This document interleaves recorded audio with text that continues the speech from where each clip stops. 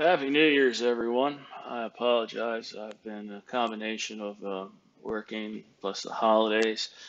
And then on top of that, I've been to get sick as a dog these last couple of days. Um, I hope everyone survived that terrible bomb cyclone or whatever they call it. Um, it was pretty, pretty, pretty miserable. Um, whenever we get bad weather in my neck of the woods, especially when it's the first big rain or it's the first big cold front, um, have to volunteer or at the homeless shelter, we collect a bunch of volunteers to try to go out and go to the various places that people like to illegally camp and um, warn them about the weather, give them warm weather clothing and stuff, and then advise them on where they can go to seek shelter. Uh, we have a big river that goes through our city, and um, one of the big problems is people will naturally want to um, illegally camp at the river bends where it's pretty flat except for some rocks. You can just move the rocks and there's a lot of driftwood. Um, that's absolutely the worst place to camp though because it doesn't even have to rain in our city for you just have to be raining towards the mountaintops and stuff and that could cause you to get washed away and you'll be lost and nobody will ever see you and they won't find your body for like two weeks. So um, uh, right when this storm was about to hit, um, I got a call from one of the coordinators asking me to go out there. And uh, I went out there actually with a cop, which was interesting because I never met the guy before. Um, and the reason they sent me out with this cop was we were missing a guy um, who left the location that he is supposed to reside in because of his criminal history. Um, and I have dealt with this guy before. I pretty much know how he thinks. I can find him real quickly. So we ended up uh, going exactly where I thought it would be, and that's where it was. And uh, and of course, there are these two young college-age looking girls.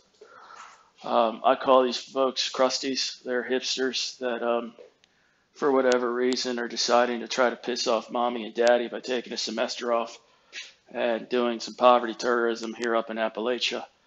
They can gawk and point at the poor people and then also use all of our social services up here. I, I don't get it. I, I'm assuming that these folks just watch like a Vice documentary on train riding, and then they decide to ride the rails, and then as soon as they get up to our city, they decide, okay, riding rails suck.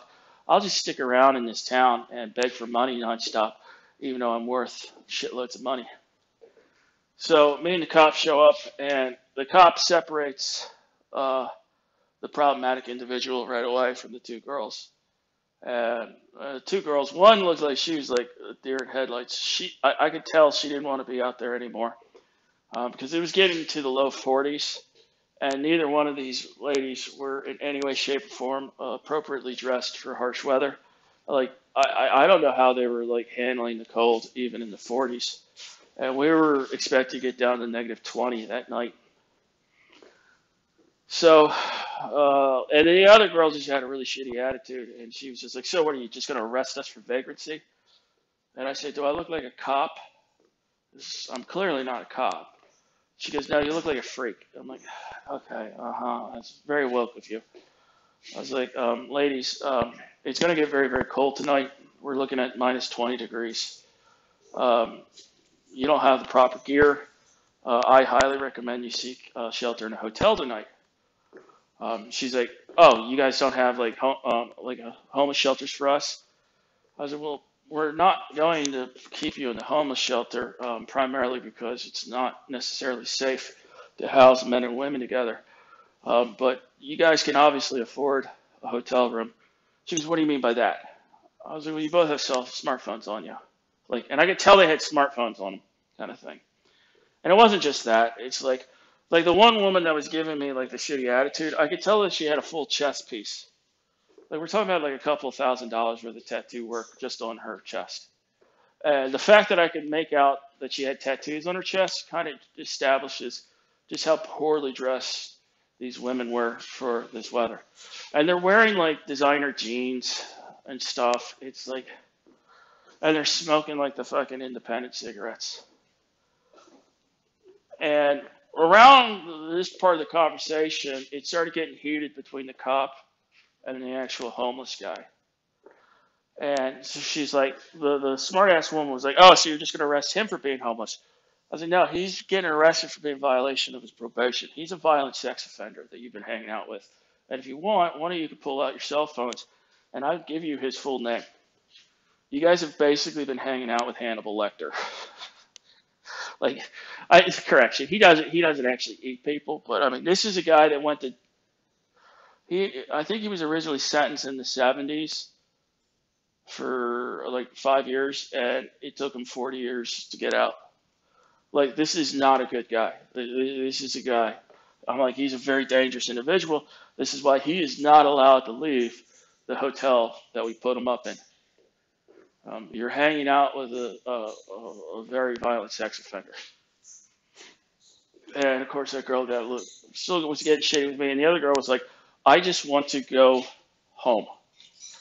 I was like, I'll tell you what, I'll drive you guys to wherever you want to go, but you really cannot stay out here tonight. You won't survive. So they both agree. Well, they go to like, or, or no, no, they, they, I'm, I'm saying this wrong. I apologize. I'm very sick. Um, they both agree to leave. That's what they agreed to.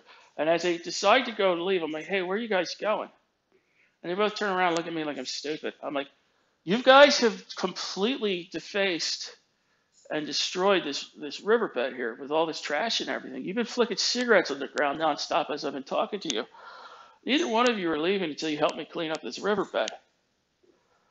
And before the girl could say anything, the cop finally came back from have like because he had to take the um, the sex offender into the back of the car, you know, a little bit of ways. He comes walking up and he goes, "Hey, Smith, are these two leaving?" I said, "No." He goes, "Good. Neither one of you are leaving. Otherwise, I will cite you for for for all this garbage you're leaving." So the cop stayed there with them. I went up to my car. We got trash. I got trash bags and gloves and stuff, and so we pretty much spent like two hours cleaning it. Because I mean, they they must have been camping out here for a couple of days, but I mean, there was just so much shit.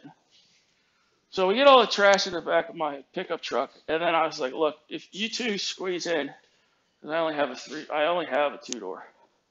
I was like, if you two squeeze in, I'll drive you to wherever you want to go, but we need to find you a hotel.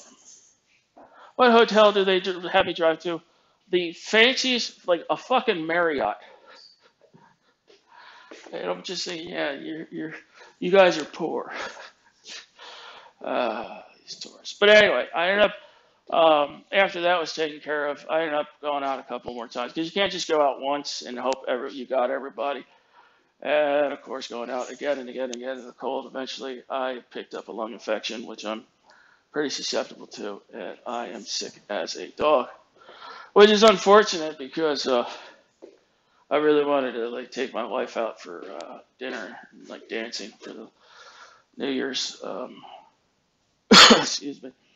Uh, it's funny when I was a raging alcoholic, I used to hate St. Patty's Day and New Year's because I would forget that they're coming up, and then like the bars that I would hang out with were just filled with people, which I wasn't used to like drinking around anyone. I didn't like it.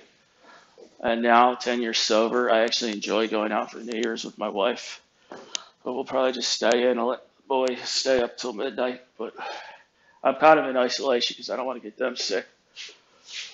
But, oh man, that that, uh, that that cold weather was crazy. Um, I hope everyone did all right.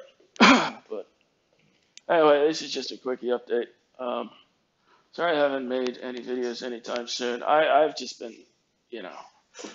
I, I pretty much got sick the second day of this cyclo bomb or whatever, and I just keep getting sicker and sicker.